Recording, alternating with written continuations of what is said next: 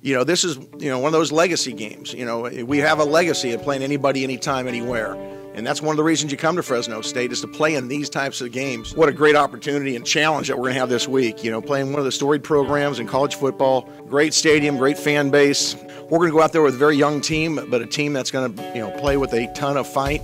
Guys that understand that we've we have an opportunity that you don't get very often when you when you play these kind of programs it can give you that national name. And we're going to attack it like that this entire week and uh, go out on Saturday and, and, and let's let, us let us go see what happens. When I look at it, you know, particularly their offense, it's the number two total offense in, in the Big Ten, the number two passing offense.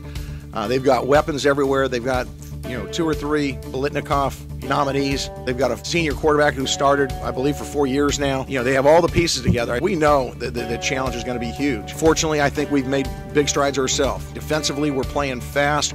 We've got to get back to a defense that creates takeaways for us to have a chance. And then offensively, we've got to do a great job, you know, holding on to the football uh, moving it, controlling the clock a little bit. I'm excited about what Chason's done with our offense and Coach Kiesau and our, our, entire staff. I think our guys having a quarterback who's been in an environment like that before will help. You know, the guys that, that played in those games, you know, maybe you don't have the big eyes, you know, the, of the big stadium, you know, that, that you can get with young players at times if they because they've been through that before. We feel like Chason has earned the right to be our starting quarterback.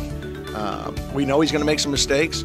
Uh, we're gonna we're gonna grow through those, and, and, and he's gonna grow as a quarterback, and I, I, think he's gonna be terrific for us. So we're excited about him having earned that right, and, and uh, excited to see him go do some things against other teams. Not only is he physically gifted and talented and understands the offense, those kind of things, but to me, the, the number one role of the quarterback is to lead. And I think Chason has the faith of our entire team. When he gets in there, he's a steadying influence. influence.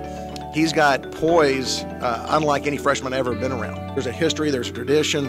Uh, the fans there are as, as, good as there are anywhere in the country. It's going to be loud. You, you try to prepare your guys by, you know, we have noise at practice. Uh, we obviously, we'll, we'll, you know, use a silent count a lot of the game. Um, but until our guys go there and get, get punched in the mouth and punch back, you know, it's, it's all just anticipation.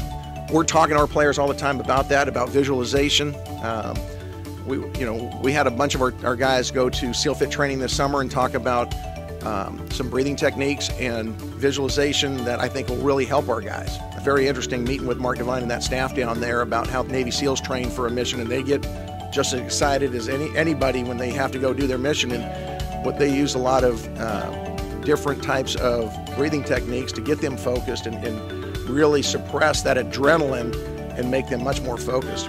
We've not done a very good job the last two years of creating takeaways, and, and you know, when, when you go through a five seven or, or three and nine, typically it's, it's the turnover margin that makes the difference. And I don't know their exact number, but I, I, I, agree with you. They, they had more turnovers than what they'd hoped. Our hope this week is that, that we absolutely win the turnover battle as we do every week.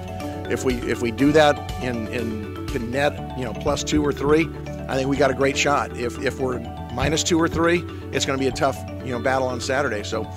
Uh, it's something that, that we stress, we harp all the time, both sides of the ball, securing the ball as well as taking it away and I think that'll be a, a great indicator of, of, you know, how the game will turn out depending on that turnover margin.